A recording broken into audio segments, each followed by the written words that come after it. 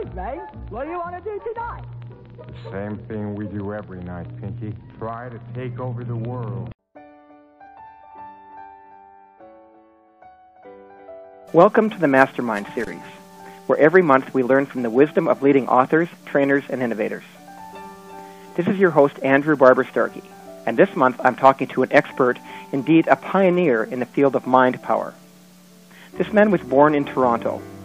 In 1975, he moved to the West Coast and withdrew to the wooded seclusion of the British Columbia wilderness to spend three years in intensive study and contemplation about the inner workings of the human mind by applying his own observations and insights to the scientific and spiritual sources of the time, he created the first straightforward and successful program for helping people develop their own mind power. In 1978, he began traveling and teaching people the principles he had formulated. And by 1980, the phenomenal success of his speaking tour had grown to encompass the globe. Since then, he has taught and lectured to literally hundreds of thousands of people. He has also authored four books, the best known being Mind Power into the 21st Century, which has sold over half a million copies and hit the bestseller list in 12 countries. His other books include A Vision of Power and Glory, Money, Success, and You, and its latest, The Practice of Happiness. It's a great okay. honor to have you. well, let me first today, of all start off by just for a minute or two explaining the whole premise behind mind powers and why and how mind powers work. Uh, everything in our physical universe is made up of vibrations of energy. Everything. Um, the the telephone that uh, you use is made up of vibrations of energy.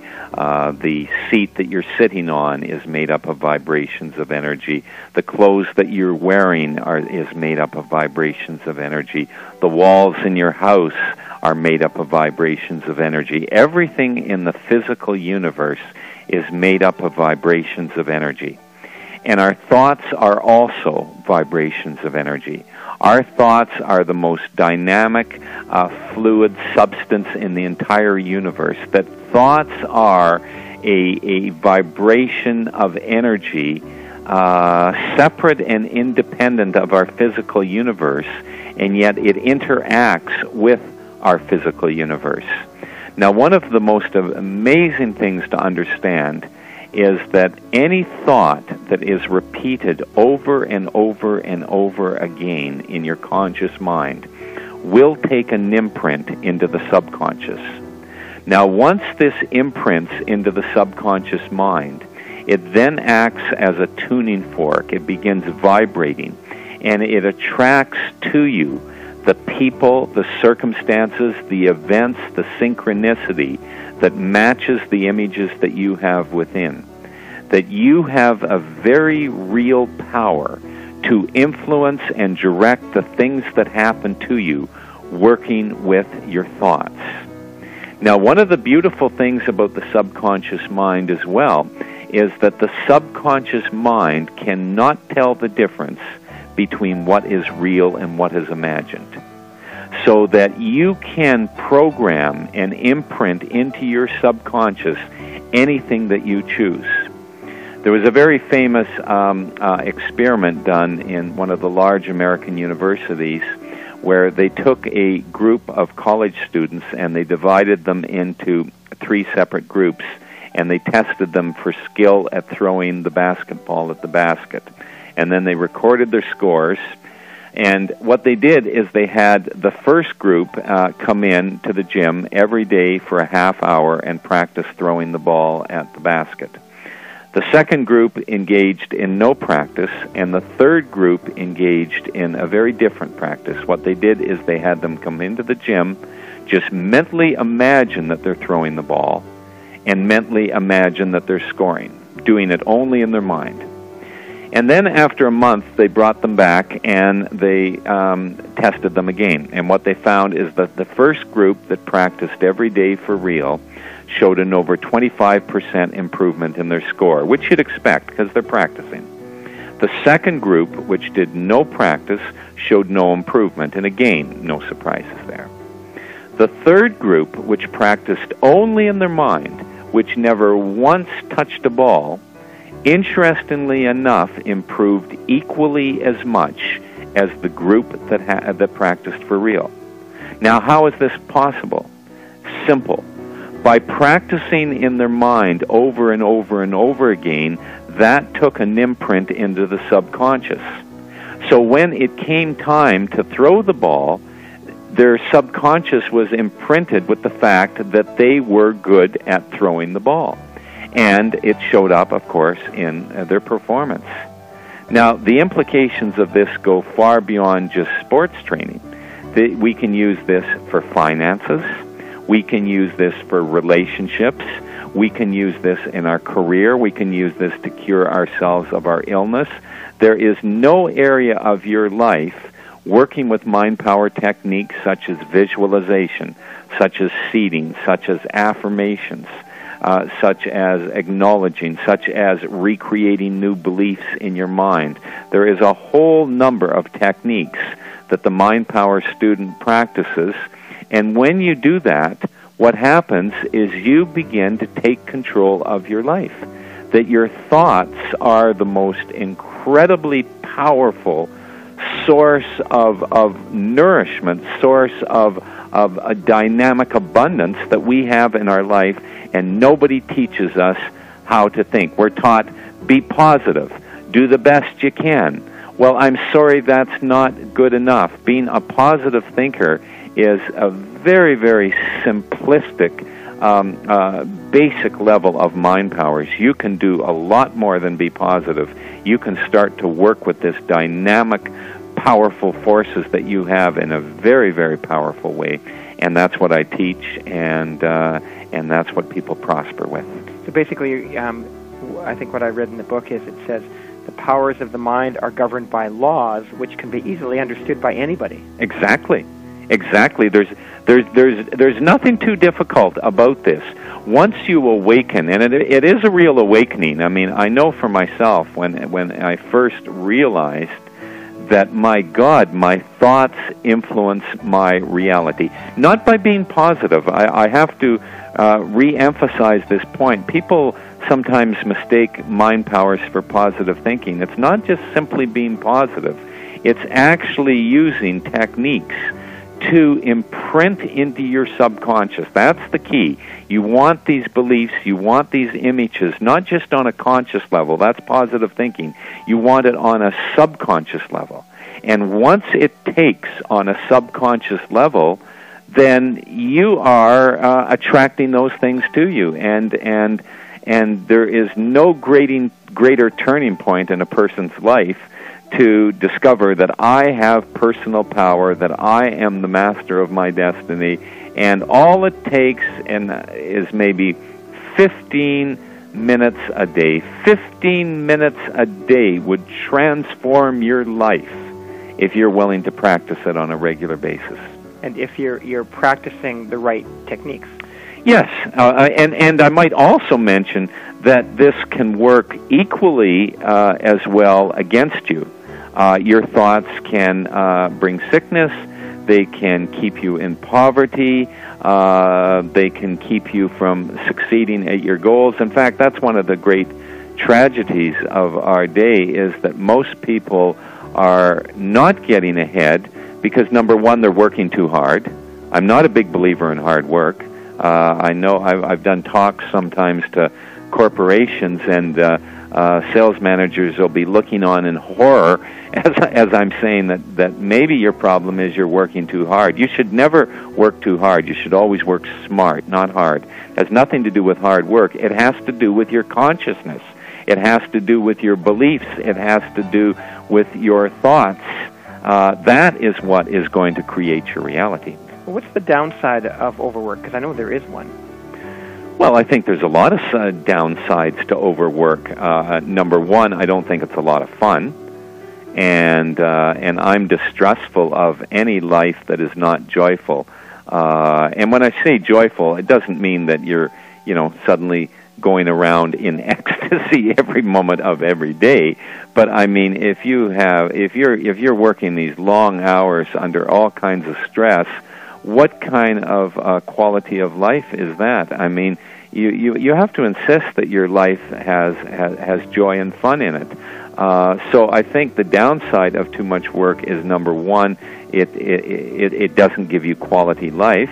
And the second downside of it is, uh, is that when you're working too hard, you're not going to get good quality ideas. And one of the things I teach is how to tap into your intuition and get ideas from your, your subconscious mind. The intuition is one of the vehicles that you use to tap into your subconscious, and there are hundreds of absolutely fabulous, great ideas to help you make money, to help you uh, succeed, to help you uh, achieve your goal that you would never ever find simply by running in your conscious mind the same old information. You have to go into your subconscious and get a whole breath of of, of new life in, in, in, in your day to day life. And when you do that, you've suddenly all these insights and brilliant ideas start sparking. So this doesn't happen when you're working too hard. And sometimes I, I say to people that, uh, uh, you know, uh, you're, you're working so hard you probably won't be successful. And, uh, and they sort of look at me all stunned like, but it's absolutely true. You must give yourself good quality time and honor yourself.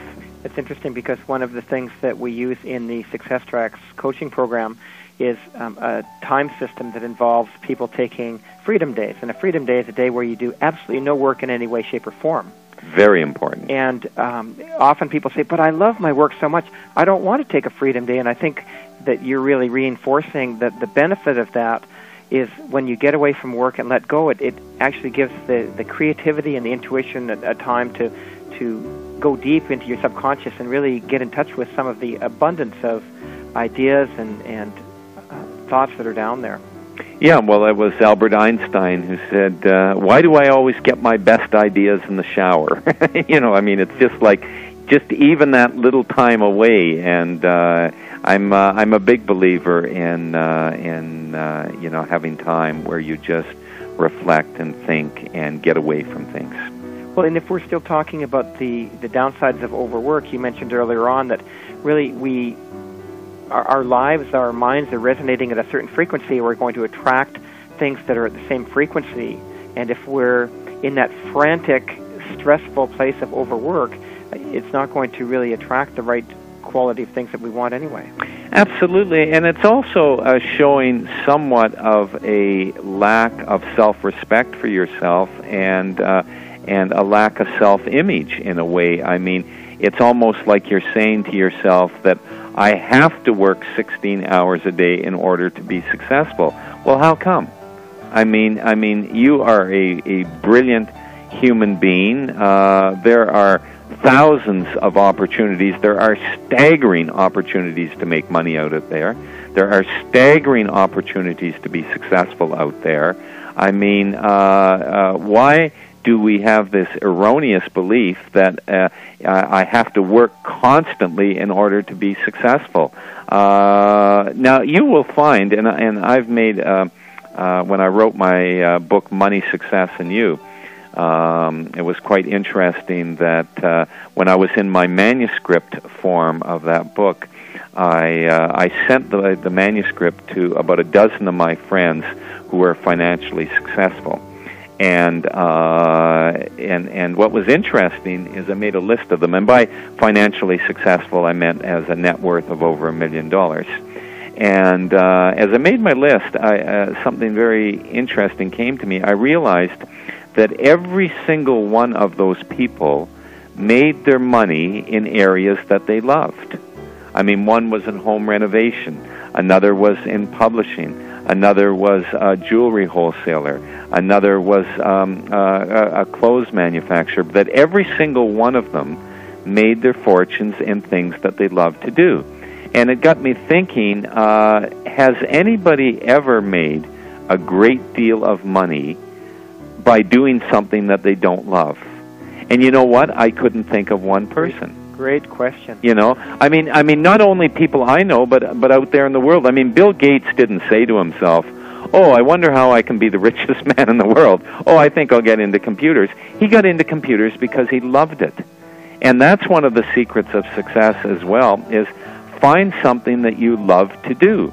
And then of course if you love to do it, not only are you going to be more successful at it, but you're going to have more fun in your life and fun and joy is is one of the principles that I teach.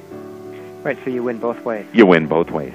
I'm thinking also about the um, the overwork and going back to the very pr- first principle I think you mentioned to us was trust the universe. And and my thought is that one of the reasons that people um, kill themselves working so hard is because they simply believe there's not enough that they're going to fail. Um, and they're they're living in fear of scarcity and, and they've got to work so hard. And the other perhaps is um, a belief that um, there's not enough, they're not safe unless they have power, and they're not okay unless they have power. So they have to be successful in order to be okay that way. So either way, it's not really trusting the universe. Not at all. I remember one time in one of my seminars, I had someone, and uh, I really like people to uh, clearly define their goals because it is one of the maxims of mind powers is that you must know what you want before you can get it. Uh, uh, and uh, and so this person was saying, um, "I want to be the richest man in Canada." And I thought to myself, "Okay, well that's interesting." And uh, I questioned him further, and I said, "Well, why do you want to be the richest man in Canada?" And he said, "So I can prove that it can be done."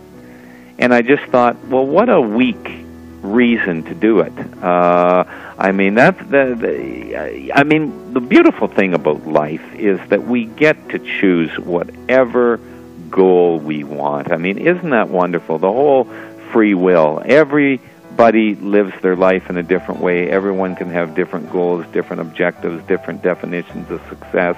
We get to define it in our own way, but to to to need to do that just to prove he could do it, I thought was showing actually a little bit of um, uh, lack of self confidence in, in himself. Uh, and the same thing in our life is let's examine why we have these goals. Uh, and uh, and when you examine them, sometimes you find that your motivations aren't as true as uh, as we initially thought they would be. So uh, you don't want to end up uh, like the old saying goes to be the man who ends up climbing the ladder of success only to find that it's uh, up against the wrong wall. You know, um, that's what I think midlife crises are, are. By the way, it's uh, I think I think it's a wonderful thing that at the midway point of our life that our our psyche should shake us up. I mean, whenever someone's going through a midlife crisis, uh, I always say to them, "How wonderful! Oh, I'm so happy for you."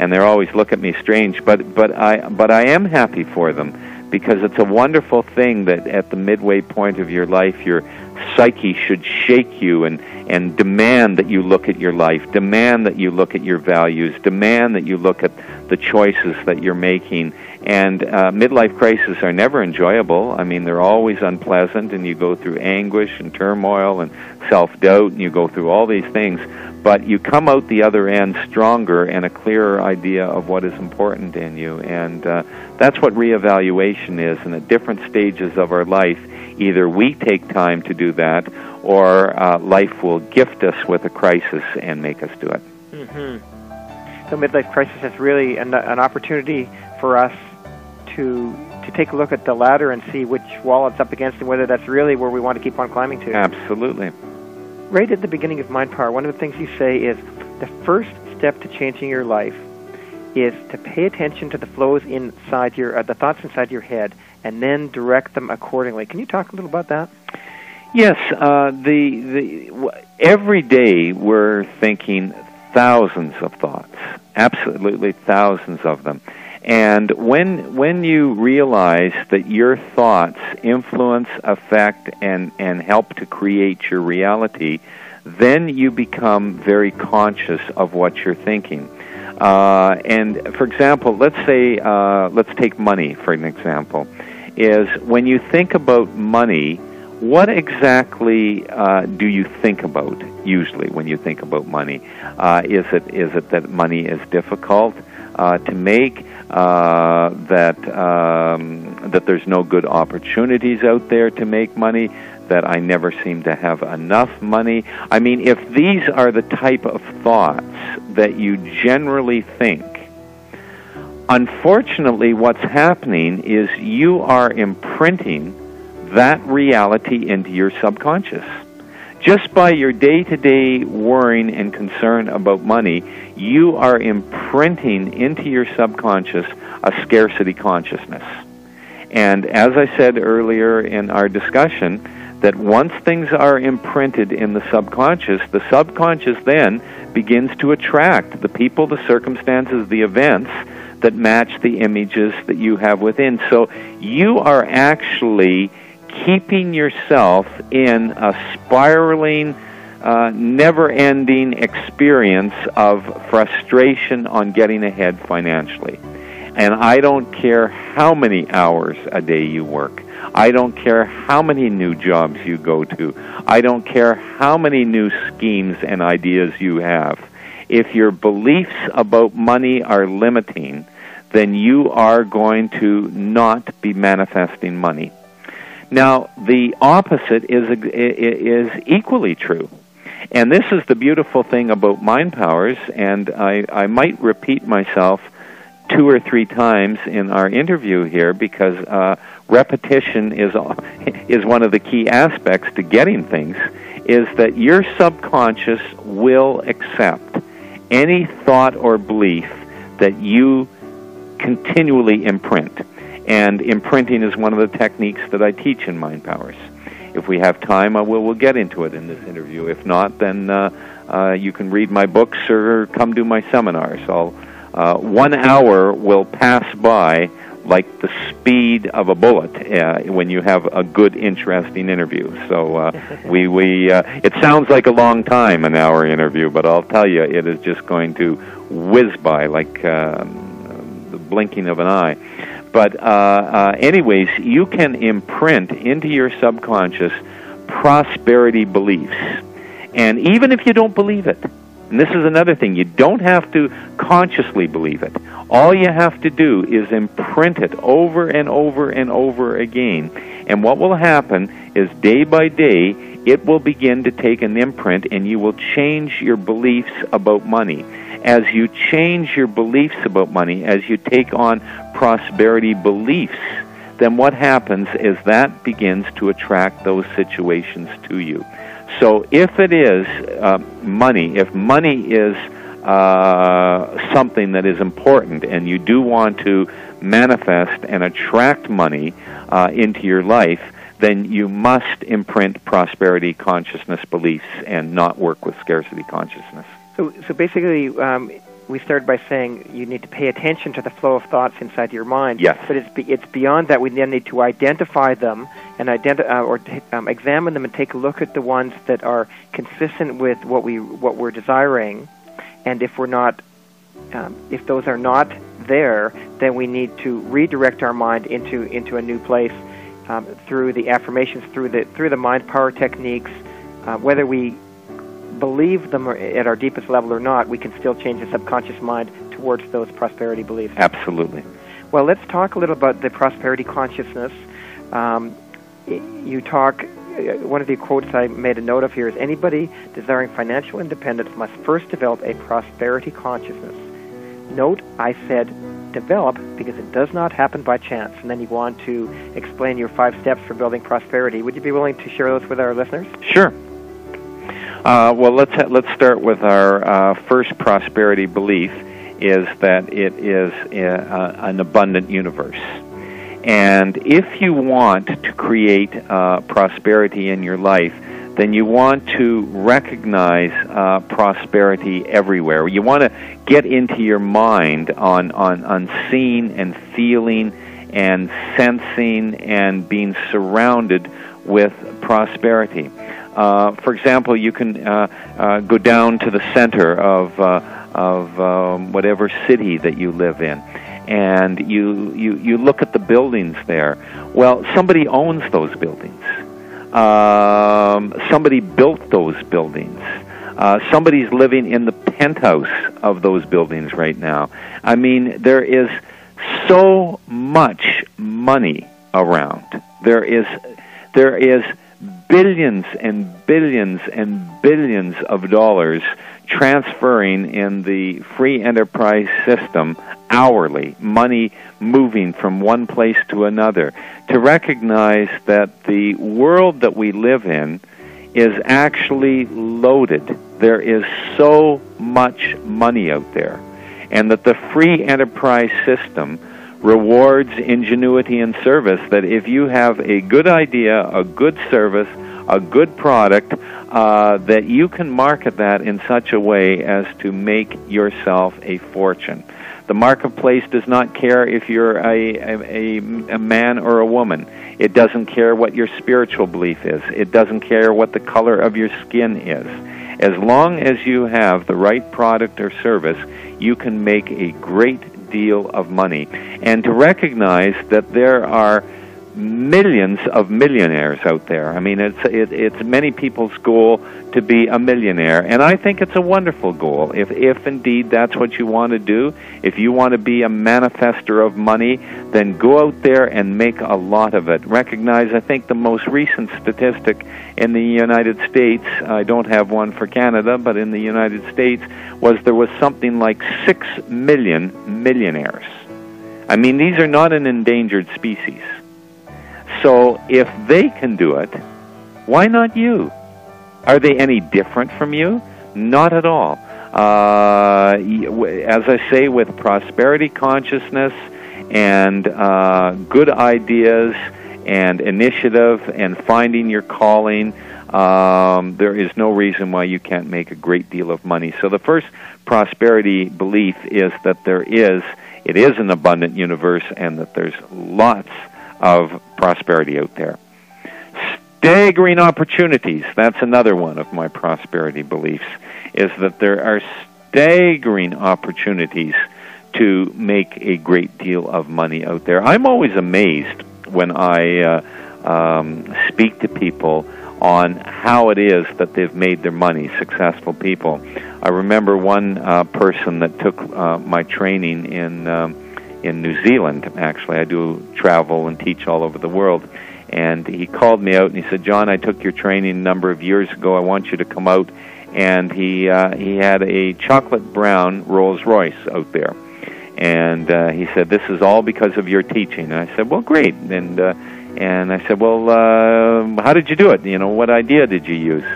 And he said, "Well, I opened up a, a backpackers hostel." And that led into a string of backpacker hostels, and he's a multimillionaire. Now, who would think that operating a backpacker hospital uh, uh, hospital would would produce millions of dollars in profit? But nonetheless, it did. There is so many ways of making money out there, but you got to find something that you feel good about. Well, I was going to say that may take us back to the importance of doing what you love and knowing that even if you limit yourself, quote, by doing only what you love, there's still a huge number of opportunities to be to to um, operate and to be successful. Absolutely. Another one of my prosperity beliefs is that it's our duty and responsibility to succeed, and I spoke about that a little bit uh, earlier in our in our talk here, um, and that and, and I'm, I, I really think that each and every one of us um, brings to the table a little piece to the puzzle. That each of us uh, has an answer to some solution or problem or difficulty that we have here on this planet. That we're all plugged into the same system, and that. Uh, that we really have to honor what's calling us because uh, that is what is not only going to make us successful, but that is what is going to be our contribution to our fellow members here in the human race. Mm-hmm. Like when I, for example, honored that calling to leave my my my business as a rock and roll promoter. I mean, I was making a lot of money uh, I, I, I was having fun with it. It just, I just heard that little call within me to move on, Now, as it turns out, uh, at the time, of course, it was it was a bit of a traumatic decision. It wasn't like, oh yes, I'll just do it. I mean, I I waited up pro and con, had a few sleepless nights over it, and until I, you know, ultimately made the decision. But um, but now, you know, 20 years later, uh, I can look at it and say, well, wow, what a uh, fabulous decision that was, because not only have I been tremendously successful in my new calling with uh, uh, you know best-selling books and, and successful seminars and traveling around the world and and and uh, uh, having a fun, profitable, interesting life. I mean, not only that, but look at the hundreds of thousands of people that I have got to touch and teach uh, on how to work with the powers of their mind. I mean, isn't isn't it great? that I did honor that uh, because if I hadn't, then a different destiny would have um, befell me. So by honoring your your calling, it's not a selfish thing at all. In fact, it's it's really an opportunity for for the whole world to receive your work. Absolutely, you have to follow your bliss. What is it that makes your heart jump for joy? You will never be successful doing something you don't like. You can make a living doing something you don't like but you will never be tremendously successful doing something you don't like. Mm-hmm, which I guess leads us back to prosperity consciousness. Yep. I want to go back to your explanation of imprinting because I really did feel quite impacted by the way you said it. What you talked about was that really resonated for me was you said when we go to school we learn our times table. Yeah. And you know seven sixes is forty two, and yep. um, I could remember that at gunpoint and a, um, you know, waking up in the middle of the night. Yep. Um, it's truly imprinted in my mind. And you talked about the way we, the importance of imprinting uh, the the messages that we that will support us into our subconscious. Could you expand on that a bit? Yes. Well, we've we've used uh, imprinting twice already in our in our life, as as you mentioned the multiplication tables. I mean, if I was to say what's seven times seven, immediately we know it's forty nine. You know what what's eight times ten? Well, immediately we know it's eighty. Well, how do we know those things? Well, because they've been imprinted countless number of times. One times seven is seven. Two times seven is fourteen. Three times seven is twenty-one. You know, it's been imprinted over and over and over again. Yet, if I was to say, "Well, what's thirteen times eight?" we wouldn't know. And the reason is they only taught us to twelve. You know, they they felt it was.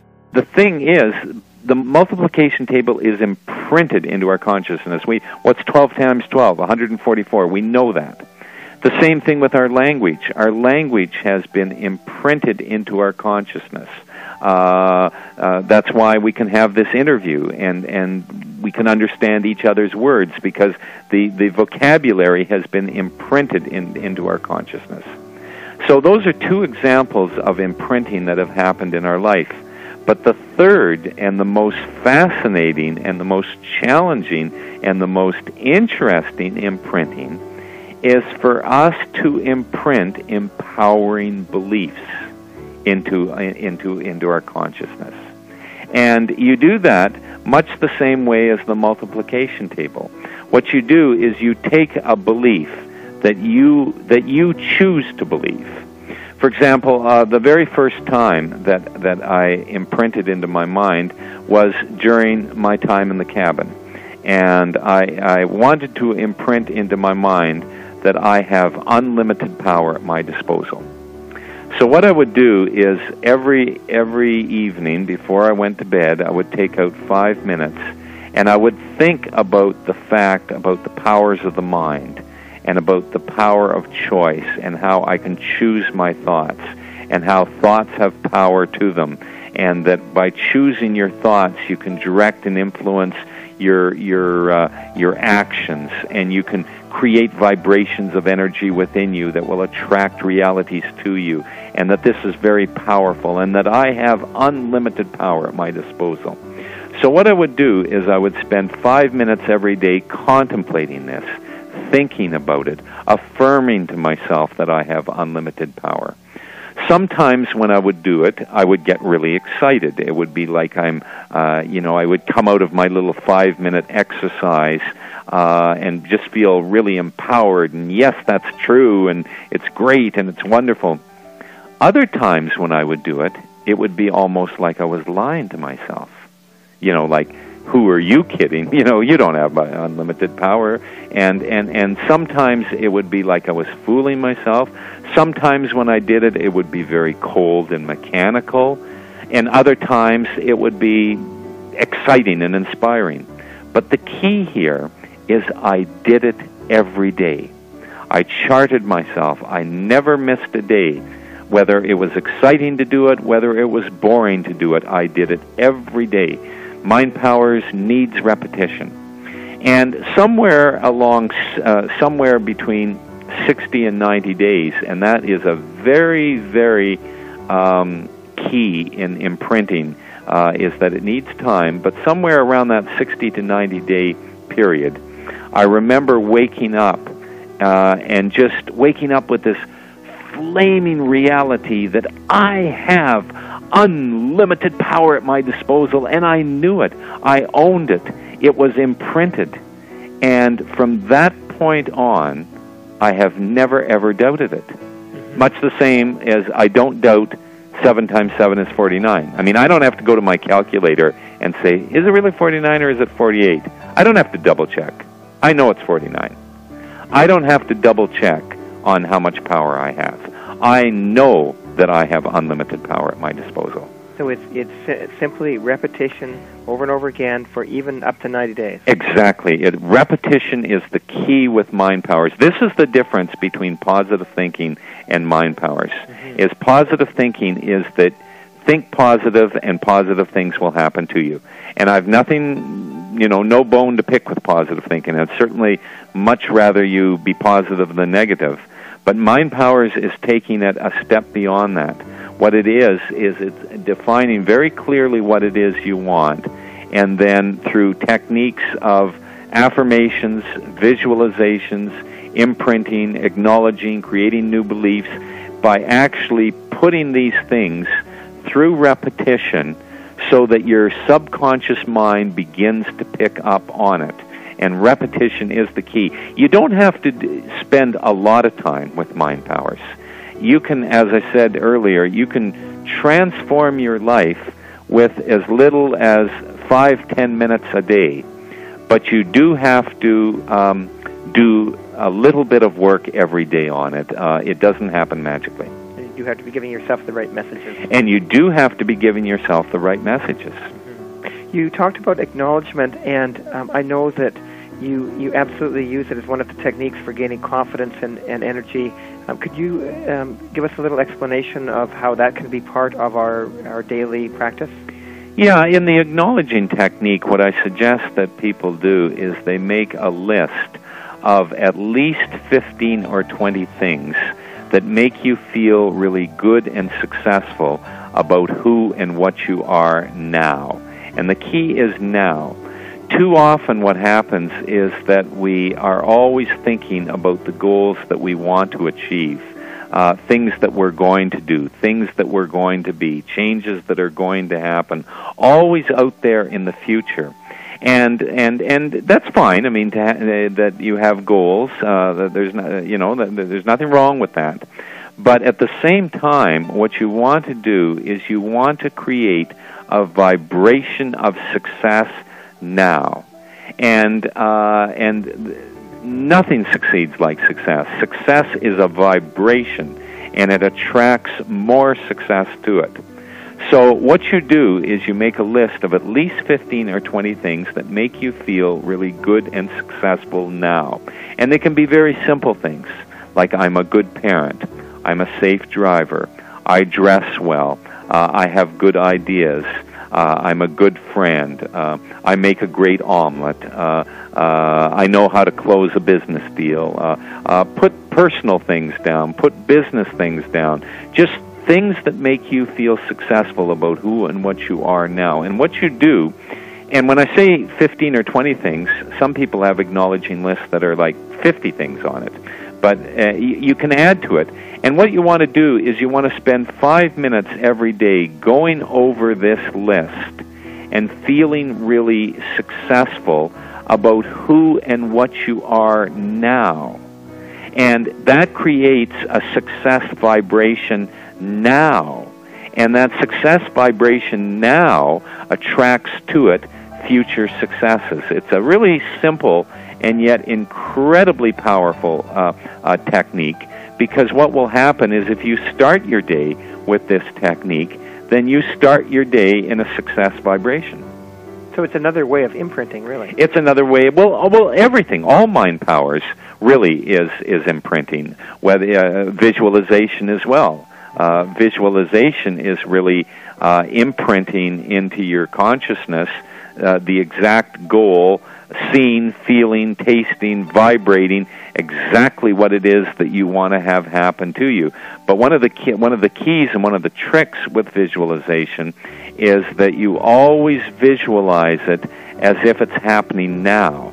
See, a lot of people make the mistake as they visualize that they're going to achieve it, that they will achieve it, that, that, that it's something happening in the future. In the visualization, you want to visualize it as if it's happening now to you. It's a little trick, like, for example, uh, the example I used with the basketball. I mean, they, they, they visualized, they imagined that they were throwing the ball, they imagined that it was scoring. The same thing with your visualization is whatever it is that you want to have happen in your life, whatever it is, what you do is you visualize it as if it is already happening now. Mm-hmm. Now you don't have to hang on to that all day. That's another mistake people make is they have they think they have to hang on to this feeling desperately, you know, every day I can't ever let a negative or contradictory thought in, you know, I have to defend this at all costs. Not at all. Relax. Take it easy. As long as you're doing it for 5 minutes a day every day, the subconscious mind will quite naturally pick up on it. Fabulous. Fabulous.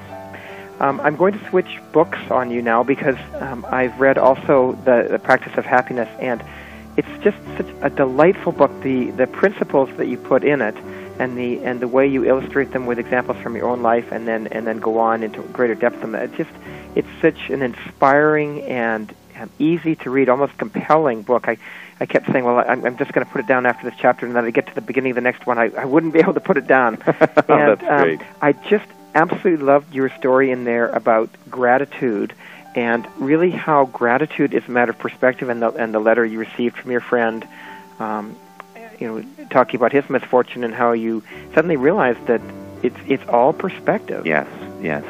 Well uh, I, uh, well thank you for sharing that because uh, th- th- that is my newest book and uh, and uh, of course the mind power book is uh, everyone loves it and I get uh, uh, you know so much feedback about that book and how it's transformed people's lives and and uh, and and I love hearing that.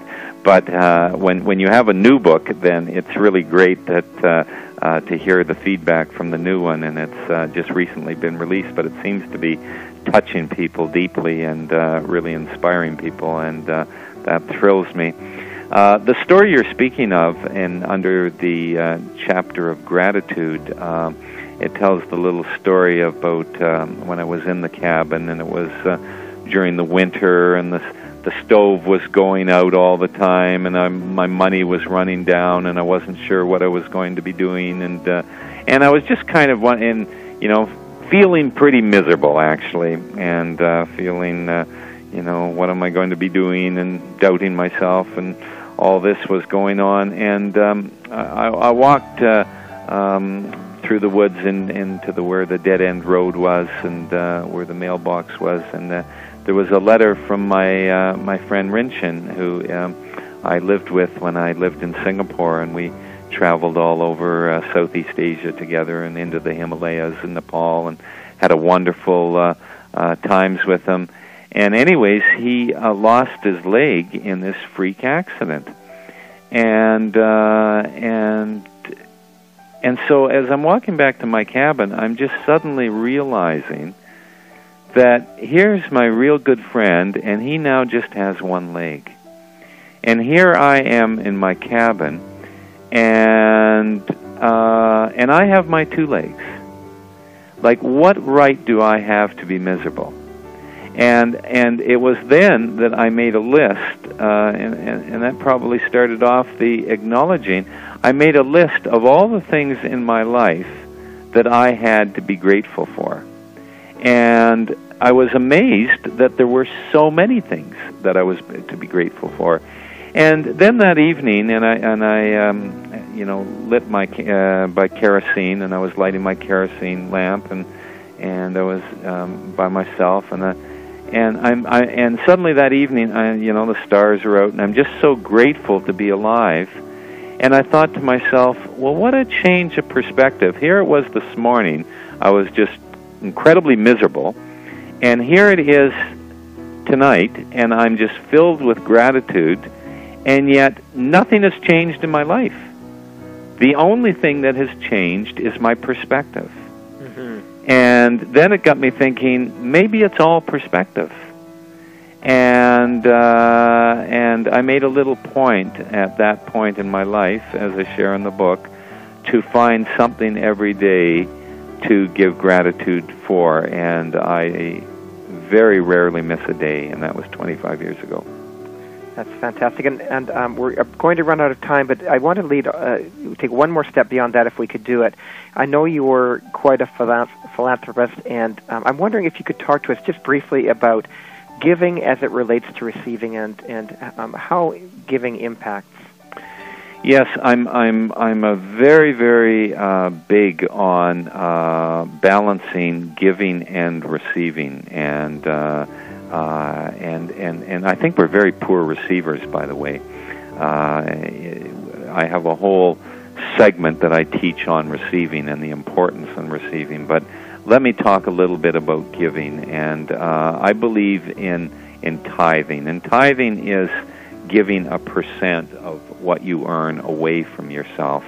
And when you do this, uh, I and it can be any percent that you want. Uh, I like to give away 10%. Some people give away 1% or 5% or you know 20%. Doesn't really matter, but it ne- psychologically it needs to be a percent. And when you give when when when your income comes in and you realize that a percent of this does not belong to you, that it must be given away, uh, and you give it away to different communities or charities or individuals or somebody, you know, playing the guitar on the side, and you think, okay, well, I'm going to give that guy ten or twenty dollars. Uh, that's tithing. That's giving away or writing out a check to a homeless shelter. That's that's tithing. And when you when you create a a, um, a, uh, a practice of this, then what happens is uh, it, it's one of the strange and mysterious laws of the universe is that whatever we give away from ourselves comes back many fold. And the mistake that people make in tithing and giving away from themselves is they is they say to themselves that I will uh, I'll give away as soon as I have some money. You know, as soon as I get ahead financially, then I'm going to be real good at giving away. Wrong. You give away now. You give away out of your lack. If you were down to your last thousand dollars, one of the most powerful things that you could do would be to give away a hundred. Because let's face it, if what's the difference between a thousand and nine hundred? I mean, you're still kind of uh, you know not in a very good situation, but psychologically and spiritually, and and uh, you you would have created an immense amount of personal energy. So I am a, uh, I believe in philanthropy, and that's actually one of the wonderful things about being financially successful is that you get to um, uh, help a lot of different individuals and organizations, and uh, I believe strongly in that. But uh, you can't wait until you're financially successful. You have to start your program right now with your humble little beginning, whether it's even fifty or a hundred dollars a month. Doesn't matter. It can make a huge difference to you and other people.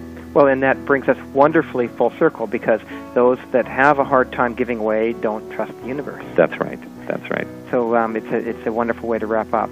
John, I know that many of our members are going to be interested in looking further into your work, and um, I was very excited to hear that you're going to be one of the speakers at Peak Potential's Wealth and Wisdom uh, seminar this fall. So that's one way people can um, see you and, and hear your work. But for those that don't want to wait that long, can you tell us uh, about your website and um, how to get there and what people can find there? Yes, if uh, I'm well, but uh, let me also add, I'm also looking forward to uh, being there at the seminar. We're going to have uh, uh, fabulous time together, and uh, I uh, I love sharing uh, this information.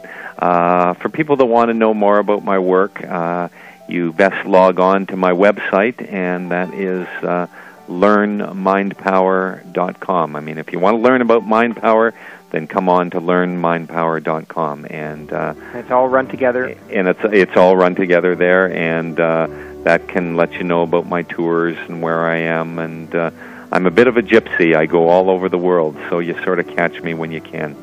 Now, people can buy your books um, directly from the website. They can also get them at most of the bookstores. Yeah, the uh, I on the website you can get uh, books, tapes, and videos, and uh, my books are readily available at all bookstores. Fabulous.